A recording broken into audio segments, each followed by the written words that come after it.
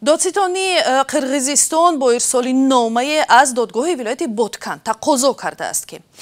э, сабаби ҷазои ба қавли додситони сабук ба се шаҳрванди тоҷиктабори кишварро шаҳр диҳад. Додгоҳи ботканд сокинони ин вилоят акмалҷон исоев аюбҷон урунов ва амонҷон бобоҷоновро моҳи э, сентябри ҳамин сол аз ҷумла бо гуноҳи ғоратгарӣ ва убури ғайриқонунии марз ба муҳлати аз 8 то 15 соли зиндон маҳкум кард ҳамкорам мирзонабӣ холиқзод ин парвандаро пайгирӣ кардааст ва ҳоло ҷузъиёти онро ҳоло дар студия ҳастанд ҷузъиёташро аз он кас мепурсем бифармоед мирзонабӣ бале хиромон ба назари додистони ноҳияи лаклаки қирғизистон ҷазои аз 8 то 15 соли зиндон ки додгоҳ ба акмалҷон исоев аюбҷон урунов ва амонҷон бобоҷонов додааст бисёр сабук будааст ва барои ҳамин муфаттишон мехоҳанд парванда аз нав баррасӣ шавад ва онҳо ҷазои бештар дода шавад дар номаи рӯзи 6 октябре ки نسخه از آن را ما در دست داریم گفته شده است که چرا دادگاه اتهام خیانت به وطن را که در پرونده جای داشت به اینابت نگرفت و آنها را فقط با گناه عبور غیرقانونی مرز، قاچاق مواد مخدر و غارتگری به زندان محکوم کرده است. در نامه آمده است که گویا در روزهای مناقشه در سرحد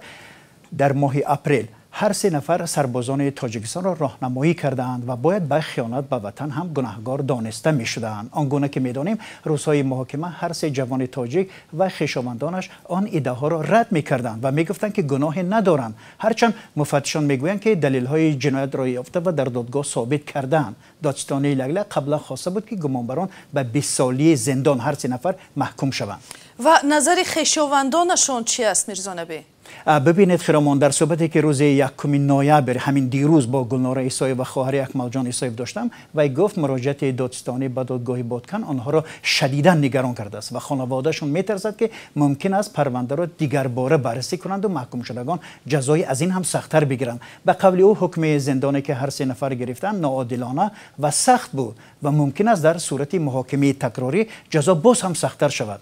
در قرقیزستان برای خیانت به وطن طبق کودکس جنایی گناهگارا به 15 سال زندان محکوم می‌کنند. به قول مهینه بانو مکرمی همسر اکمل جان ایسایف آنها پس از نامه دادستانی وکیل مدافع دیگر گرفتند و از وکیل پیشین که از طرف دولت تامین شده بود دست کشیدند. به قول او وکیل نو گفته است که در عملکردهای اکمل جان هیچ حرکت خیانت به وطن مشاهده نمی شود در حال حاضر به قول پیوندانشان اکمل جان ایسایف ایوب جان اورونوف و امان جان باباجانوف در بازداشتگاه موقتی شهر آش نگهداری می شوند تشکر میرزا نبی و یادرس می شویم мешавем ки ин парвандаҳо натиҷаҳои э, муноқишаи э, мусаллаҳонаи рӯзҳои 28-29 апрели имсол дар сарҳади тоҷикистону қирғизистон аст ки дар ҷараёни он аз ҳарду тараф 55 нафар э, куштаву даҳо нафар захмӣ шуданд ва ин муноқиша барои обу замин буд